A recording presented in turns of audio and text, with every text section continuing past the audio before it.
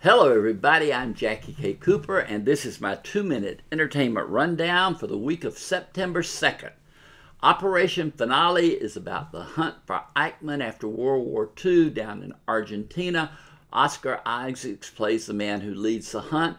Ben Kingsley portrays Eichmann. It's got a good story to it, just based on you know facts, so that adds to the enjoyment. But I just didn't get a feel for the characters like I wanted to. It's better than average, but I wanted more. It's rated PG-13 for profanity and violence. I scored it six out of ten. Then we have the Christian film Beautifully Broken.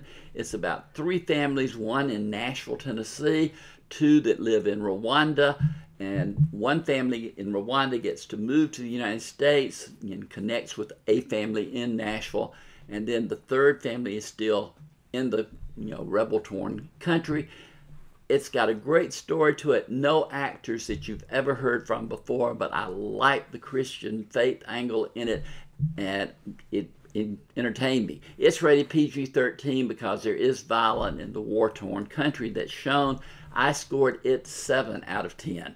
Finally, we have a film called Kin, and it's about a kid who finds some aliens who are dead and takes one of their weapons and then utilizes it later to protect his family. Miles Truitt plays a young man, and he is a new find. He's a good actor.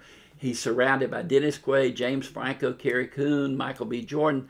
They all come together to make this film a little bit out of the ordinary. It too is rated PG 13 for profanity and violence and partial nudity. I scored it 6 out of 10. Next week we'll be talking about God Bless the Broken Road, another Christian film, Peppermint, Jennifer Garner and the Revenge, and The Nun, a horror film. This has been Jackie K. Cooper's two minute entertainment rundown.